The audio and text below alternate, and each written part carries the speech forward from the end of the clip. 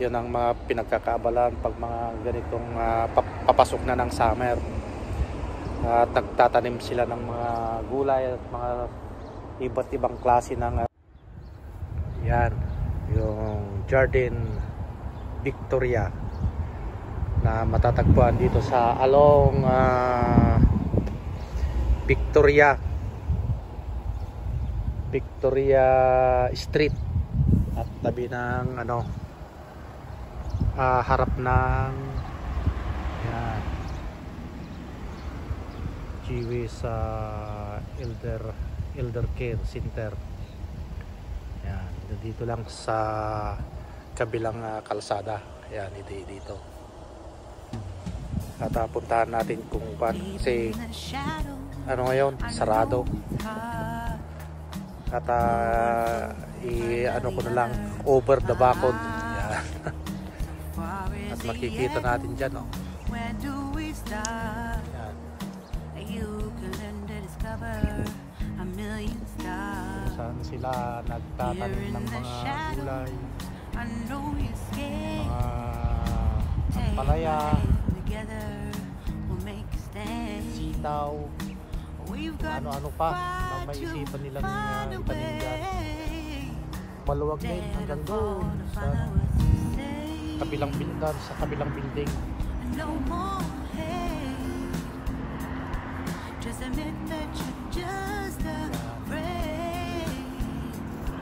Time to let go of all At ah, your yan, fears sa and porosyon na yan, isang ano na yan, yan sa isang porosyon na dito, isang garden na yan, isang may-ari. Ewan ko lang kung magkano yung renta nila per ganyan, per ah, sukat na yan.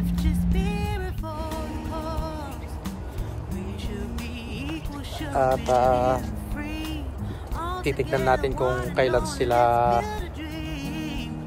mag-uumpisang mag, ano, magtanim. So actually may nagtanim na pala oh. May nagtalim na pala ng ano, ano ba 'yon? Bawang. Ayan, may nagtanim na ng bawang. Pero kukunti pa lang. Mga nag-umpisa. Maganda na ngayon kasi ano na. Uulan na naman. Ayan, oh. Madilim na naman ang kalangitan.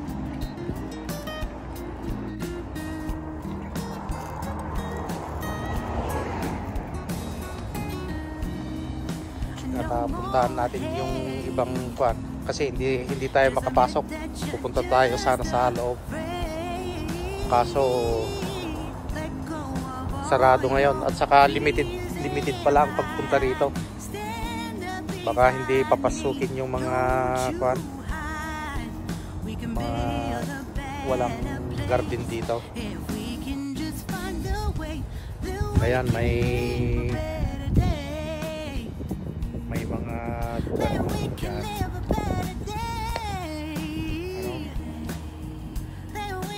Sibuyas.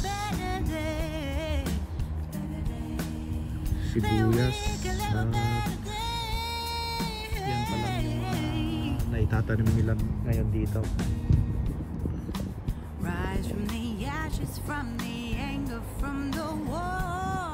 Kaya may mga ganya-ganyan, may mga harang-harang sila ng mga ano. Kasi minsan pinapasok ng mga squirrel, sinukup-kup yung lupa. Lalo na pag mga buto-buto pa yung tinanim mo, kinakain nila yung mga buto. Kaya may ano, may harang siyang ano, mga screen.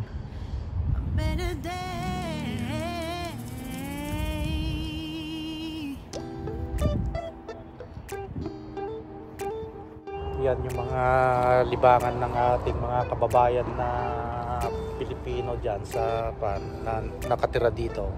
Yan, yung libangan nagtatanim ng mga kasi yung mga bahay-bahay dito bihira lang yung may mga space na backyard. Swerte na lang yung mga pinapayagang ano pagtanim sa likod bahay. Kagaya sa amin na pinapayagan kami kaya lang mayroong mayroong isang isang ibang lahi doon na ano ayaw niyang mga may tanim-tanim. Sinisira niya yung mga garden doon. At ipapakita ko rin sa iyo mga kaarap kung paan, paano sinira yung mga ano mga garden doon sa amin. Idudugtong ko na lang dito sa video na to yung mga garden doon at ah, update po kayo mga kaarap pag, pag ano nagtanim na sila dito. Kaarap dito tayo sa likod ng ano, building namin. At ipapakita ko sa inyo na yung mga kung saan kami nagtatanim ng mga mga gulay. Dito pwesto na dito. Nakaready na pala sila magtanim kaya lang ano kinukot-kot ng squirrel. Ayan.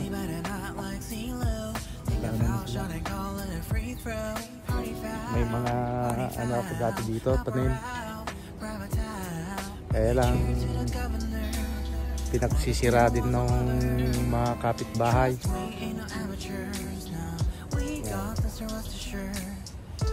Eh, ewan ko lang kung pwede pang magtanim dito. Pinagsisira yun.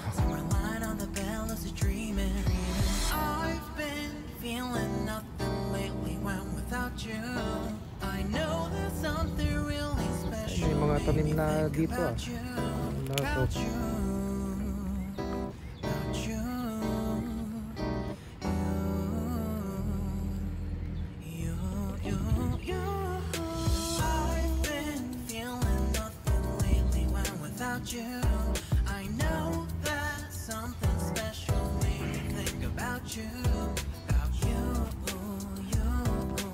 you. Madimay.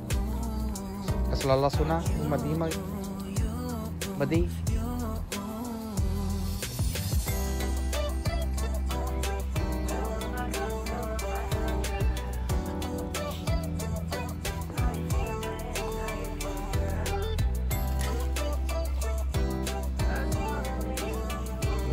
Pinagsisira ng.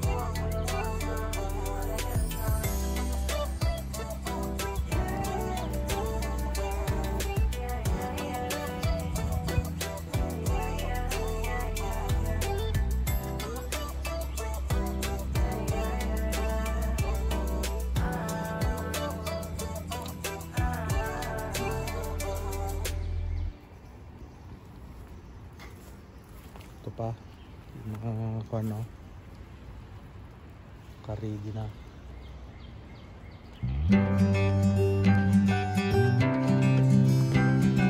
Guys, uh, update ko kayo sa aming pagtatanim pag ano na.